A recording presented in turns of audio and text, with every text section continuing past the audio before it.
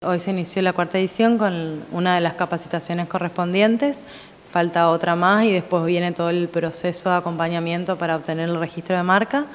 Eh, también, como dijiste, la verdad que fueron exitosas. Se iniciaron 27 trámites, de los cuales recién se entregaron 10 marcas, pero porque también lleva su tiempo y el emprendedor tiene que cumplir con, papeles y, y, con cosas que por ahí en el día a día se complica, entonces hasta que no termine de completar no se le puede eh, no, pueden acceder al, título de marca. Lo bueno de poder registrar tu marca es que eh, el nombre ya pasa a ser tuyo y no puede usarlo otra persona, entonces vos tenés tu identidad propia, tu emprendimiento tiene su identidad y nadie más puede usarlo para la misma cosa. Digamos. Se trabaja con el INPI, el INPI es bueno el quien, quienes pide los títulos de marca y en realidad el trabajo en sí lo, lo hace la ingeniera Herrero en la Agencia de Desarrollo Económico Local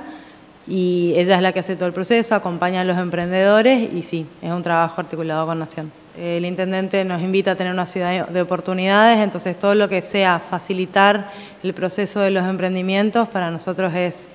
es lo que tenemos que hacer, así que en ese camino estamos y, y bueno, con todas las otras cosas que venimos haciendo en la subsecretaría también y en la Secretaría de Desarrollo Económico.